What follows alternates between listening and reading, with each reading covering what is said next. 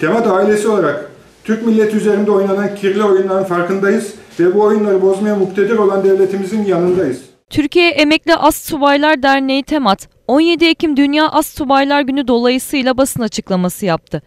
Temat Edirne Şubesi'nde yapılan basın açıklamasına dernek üyeleri ve eşleri de katıldı. Temat, kamu yararına çalışan bir dernek statüsündedir. 17 Ekim tarihi her yıl Temat'ın kuruluş yıl dönümü ve Asubaylar Günü olarak kutlanmaktadır.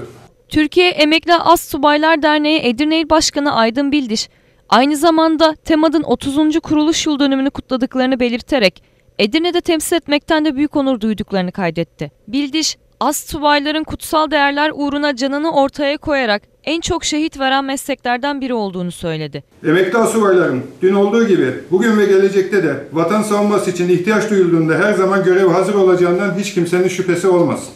Bulunduğumuz bölgede yaşayan emekli asubay ve ailelerini bir araya getirmek, kaynaştırmak, acı ve tatlı günlerini birlikte yaşatmak amacıyla yoğun bir faaliyet yürütmekteyiz. Bir asker olarak çalışmanın ve emekli olduktan sonra da yeni bir yerde yeni bir yaşam kurmanın zorluklarını yaşayarak öğrenenlerdeniz. Üyelerimizin ve ailelerinin emeklilik dönemlerinde kendilerini yalnız hissetmemeleri ve dayanışma halinde olmaları temat olarak bizlerin öncelikli görevidir. Bu nedenle emekli olan her meslektaşımızın öncelikli olarak aramıza katılmasını ve bu aileyi büyütmesini önemsiyoruz. Bu çağrımıza uyarak Edirne ve ilçelerinde yaşayan mevcut üyelerimize her geçen gün yenilerinin eklenmesiyle bölgemizde güçlü bir sivil toplum kuruluşu haline gelmiş bulunmaktayız.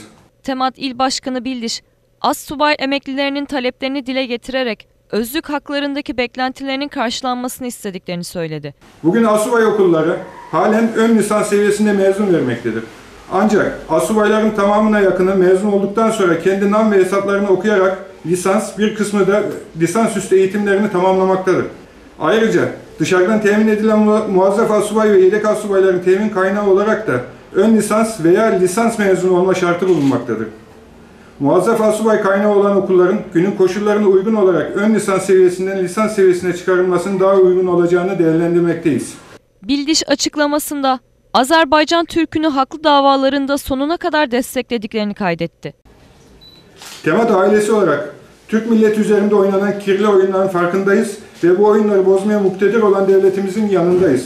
Bugün ülkemizin sınırlar içerisinde birliğimizde kasteden hainlerle mücadele ederken aynı zamanda sınırlarımız dışında milletimizin ve devletimizin bekası için ter döken Mehmetçiğimize, karasularımızda sismik araştırma amacıyla günlerini denizde geçiren ve bütün engellemelere rağmen oralarda Türk bayrağını dalgalandıran kahramanlarımıza selamlarımızı ve dualarımızı gönderiyoruz.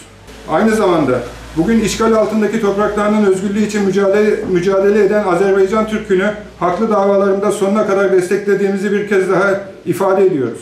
Karabağ Azerbaycan toprağıdır ve işgal altındadır. Bugüne kadar haklının yanında olma konusunda iyi bir sınav verememiş dünya devletlerini en azından bugüne Azerbaycan'ı haklı davasında desteklemeye çağırıyoruz.